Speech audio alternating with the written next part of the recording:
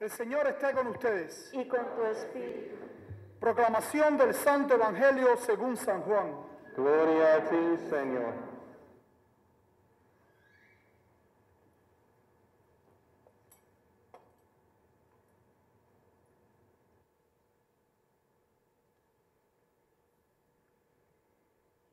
En aquel tiempo los judíos se pusieron a discutir entre sí. ¿Cómo puede éste darnos a comer su carne? Jesús les dijo, yo les aseguro, si no comen la carne del Hijo del Hombre y no beben su sangre, no podrán tener vida en ustedes. El que come mi carne y bebe mi sangre, tiene vida eterna, y yo lo resucitaré el último día. Mi carne es verdadera comida y mi sangre es verdadera bebida. El que come mi carne y bebe mi sangre permanece en mí y yo en él. Como el Padre que me ha enviado posee la vida y yo vivo por él. Así también el que me come vivirá por mí. Este es el pan que ha bajado del cielo. No es como el maná que comieron sus padres, pues murieron. El que come de este pan vivirá para siempre. Esto lo dijo Jesús enseñando en la sinagoga de Cafarnaúm. Palabra del Señor.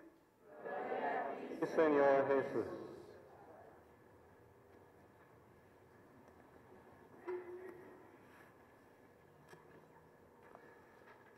Muy buenas noches a todos. ¿Y cómo están? Bendecidos en la casa del Padre.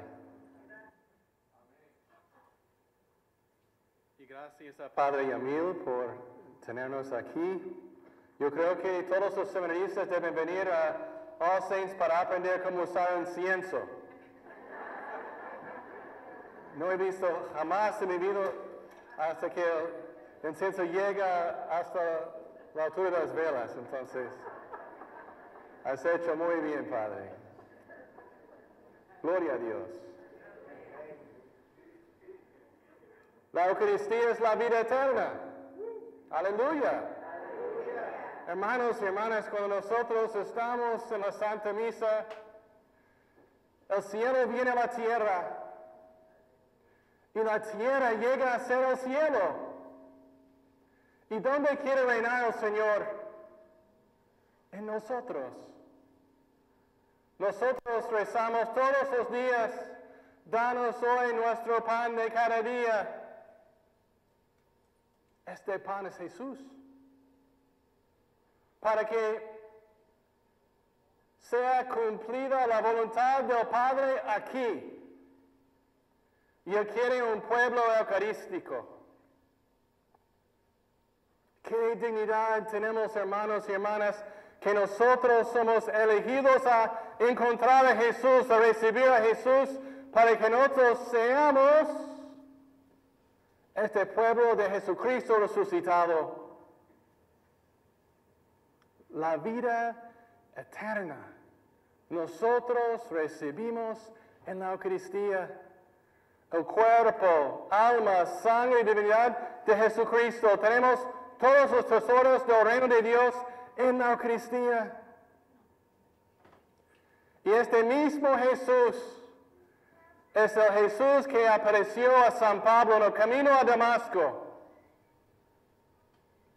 Con tanto amor, su mirada sobre él, el perseguidor más grande de la iglesia,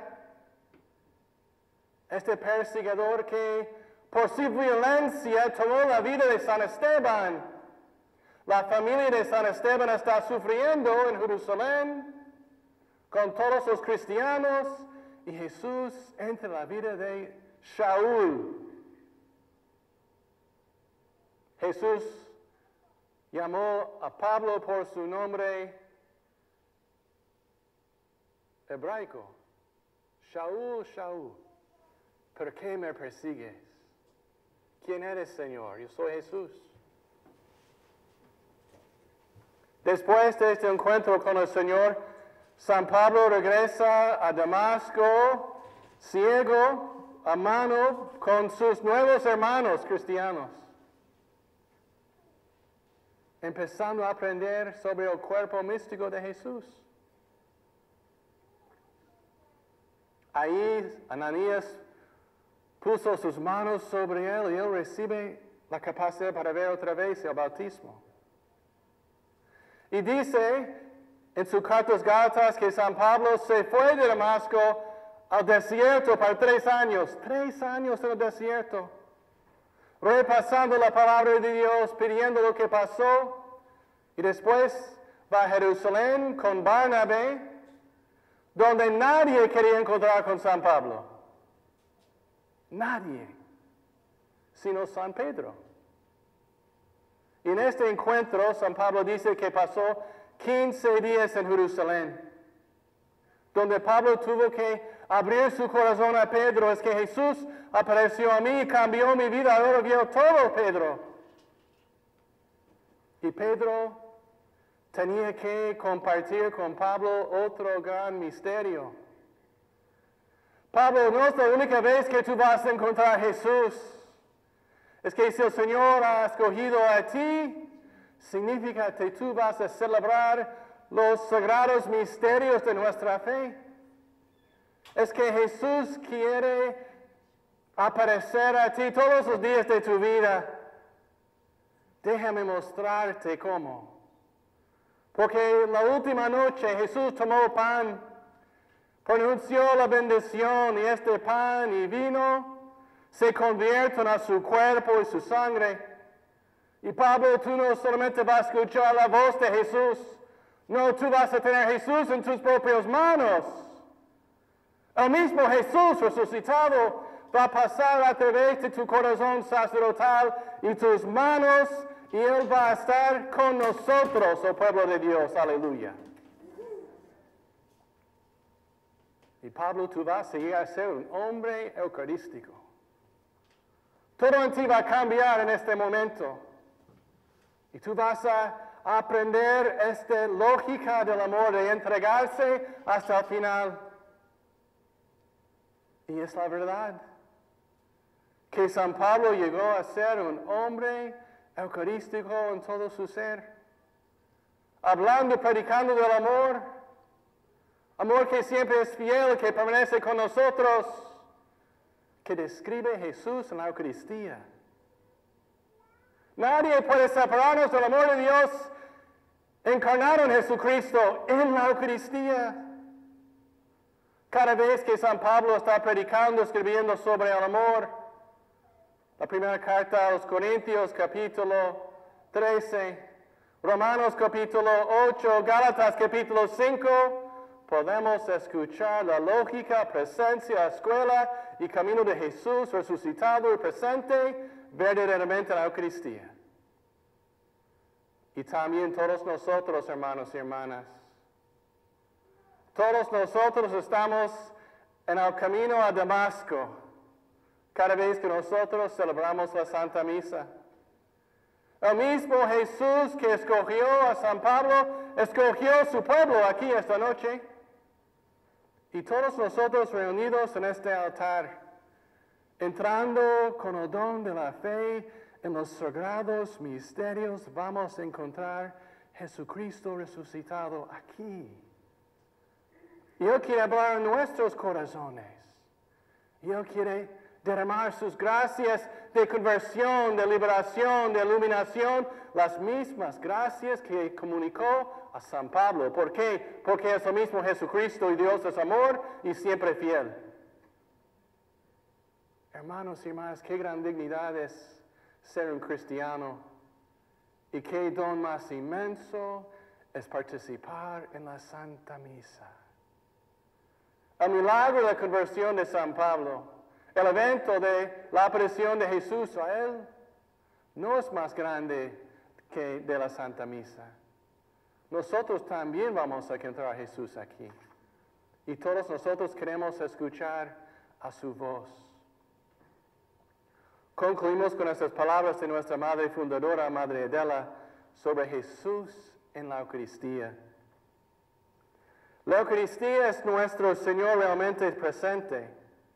Su cuerpo, sangre, alma y divinidad, oculto bajo las apariencias de pan, pero real y físicamente presente en la hostia consagrada.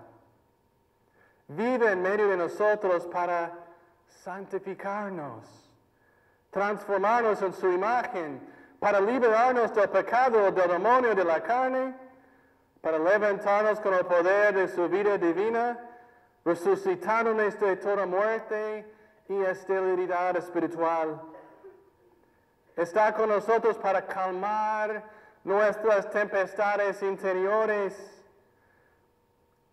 para abrir los ojos ciegos de nuestras almas, para romper las cadenas de opresiones y hábitos pecaminosos y elevar todas nuestras potencias humanas a los bienes celestiales, para transmitir sobre toda la caridad y misericordia de su corazón a nuestros corazones, para capacitarnos, formarnos y forjarnos en su imagen, para ser modelados en Él de tal forma que el mundo reconozca el rostro de Cristo en los nuestros.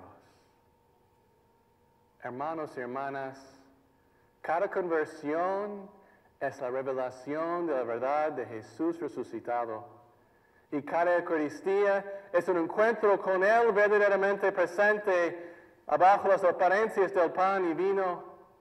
Y todos nosotros estamos aquí para resucitar con Él y para vivir con Él, para que como San Pablo podemos decir que yo soy crucificado al mundo y mundo a mí, y no es yo que vivo, sino Cristo Jesús en la Eucaristía que vive en mí.